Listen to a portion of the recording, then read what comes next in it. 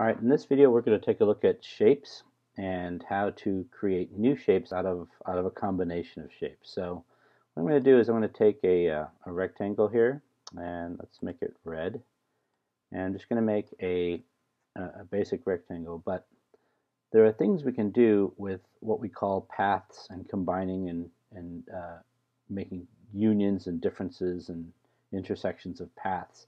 I'm going to talk about paths a little bit more in another video, but this will give us a, a really a sort of a head start on how to use paths to make new shapes. So let's say, for example, I took this rectangle and I put another rectangle right there. And if I were back in selection mode, which is our arrow here, and I selected this one first, and then with my shift key, I then selected the bigger rectangle, I can say path difference. And what happens is now I've got a whole new shape made out of one rectangle whose corner was taken out by another rectangle. You can even take a circle. Okay, I'll try this one more time. Go back to selection mode. My circle selected. I hold my shift key down and select my bigger object. And I say path difference.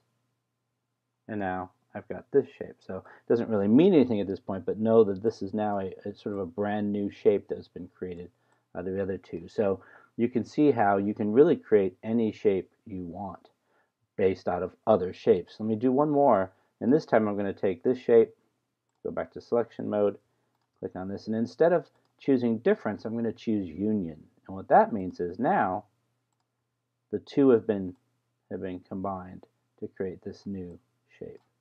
Okay, so that's a very simple, quick explanation of how to use these different um, these different operations to create new shapes.